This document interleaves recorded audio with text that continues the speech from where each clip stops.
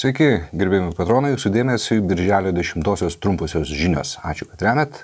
Gero žiūrėjimo. Rusijos prezidentas Putinas Birželio antrą dieną pasirašė ukazą numeris 355 dėl valstybinės politikos pagrindų brandulinio sulaikymo srityje. Pirmą kartą šis dokumentas yra paviešinamas. Jame numatyti keturi atvejai, kuomet Rusija panaudos brandulinį ginklą. Tai yra Gavus patikimos informacijos apie balistinių raketų paleidimą prieš Rusiją ar jos sąjungininkus, pažymėtina, kad raketos nebūtinai turi būti su brandulinėmis galvutėmis. Taip pat, jei Rusijos ar sąjungininkų teritorijoje bus panaudotas brandulinis ginklas, taip pat, jei bus priešininko poveikis kritiškai svarbiems valstybinėms ir kariniams objektams, kurių sutrikdymas gali sutrukdyti Rusijai smogti atsakomą į brandulinį smūgį. Taip pat konvencinė ataka prieš Rusiją, dėl kurios iškyla pavojus valstybės likimui.